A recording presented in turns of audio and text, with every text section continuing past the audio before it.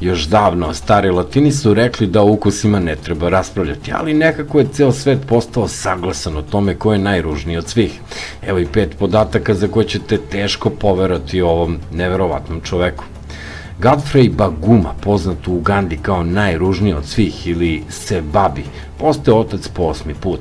On boluje od redkog zdravstvenog poremećaja zbog kog izgleda drugačije od ostalih.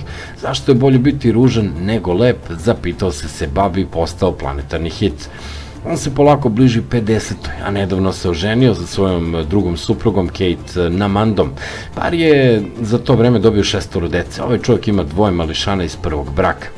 Uhvatio sam je kako me vara s drugim muškarcem i tada se uverio da je naša veza gotova zauvek. Sviđao sam joj se zbog mog novca, a ljudi su nastavili da joj pričaju da ona može i bolje, pa je našla drugog, rekao on o svojoj bivšoj ženi. Onda je se babi sreo na Mandu, koja je tada imala 18 godina. Ona ga je napustila kada je bila u šestom mesecu trudnoće, ali se posle dva meseca vratila, jer je počela da veruje sebi, a ne pričama drugih ljudi, kako tvrdi se babi. Inače, gosti na svadbi su morali da plate oko 4000 šilinga kako bi videli ženu kojom se najružniji čovek uženio. Dakle, ako nema lepotu, ovaj čovek to bar ume da pretvori u novac. Nekada je bio obućar, a onda je počeo da koristi svoj defekt kako bi zaradio.